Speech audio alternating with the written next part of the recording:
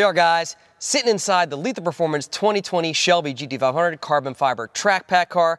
We've been posting lots of images and videos and content regarding the new Whipple 3.8 liter supercharger kit that's going on this car here shortly. So what we've got to do first is a baseline dyno. We do not know what type of power this car makes from factory, so we want to actually do a before and after dyno to see the improvements we got with a Whipple supercharger. So we're off to Dyno and Performance in West Palm Beach, Florida. We're going to put it on their Mustang dyno, get some baseline pulls on it, and then we're going to go from there. But before we actually go and put this car on a dyno, there's one important thing that you've got to do, and that's pull apart the connection for the dyno connector.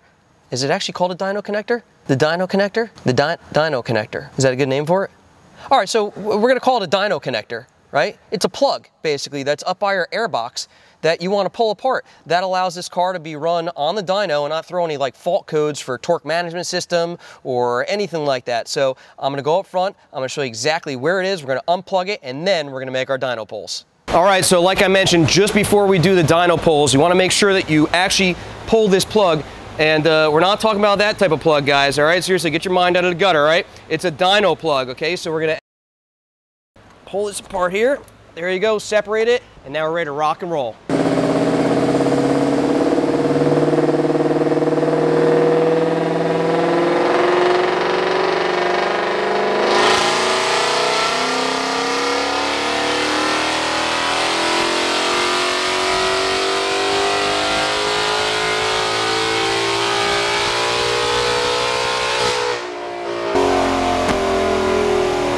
That sounds so good. American horsepower, baby. Screaming Eagles. So that's actually really good for a, for a Mustang dyno. 668. 668 and 575. That's, that's, I think that's awesome. Uh, there's 760 horsepower at the engine, flywheel horsepower. So you have to account obviously for the drivetrain loss to the rear wheel and then also that we're on a Mustang dyno, which typically reads lower than a Dynojet.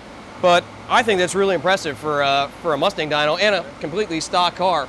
And it sounds phenomenal. That Corsa exhaust, man. Woo!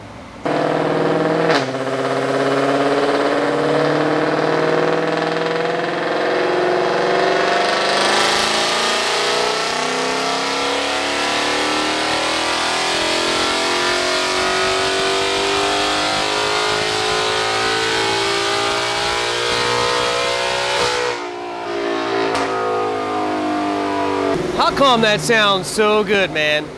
Seriously, I, I mean, it's great seeing this thing and like all the power that it makes, but hearing that sound just unbelievable, man. Seriously, course Corsa Performance exhaust, man. Unbelievable, unbelievable. Good stuff. Got the baselines out of the way. Time to slap that Whipple on there. Fuel system, headers, injectors, some tuning. Let's do it. Nice. Awesome, 674. And again, for a Mustang dyno, that's that's solid. Solid numbers for being on a, a dyno that has a bigger correction factor than a, than a uh, Dynojet. Good stuff, man. Nice. So we got a great starting point. We know where we're at. All right, well, there you have it. Those are the first baseline pulls on the Lethal 2020 GT500 carbon fiber track pack over here at Dyno and Performance in West Palm Beach.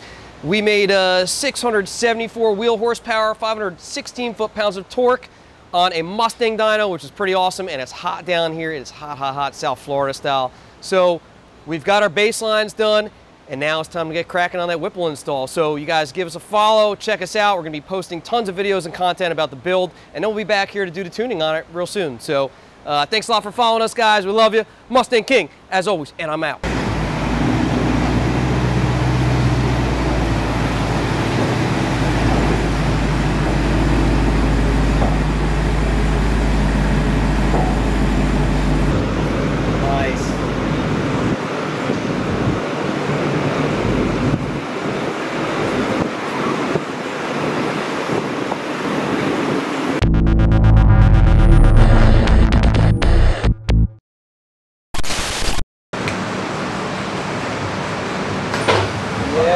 Thank you guys.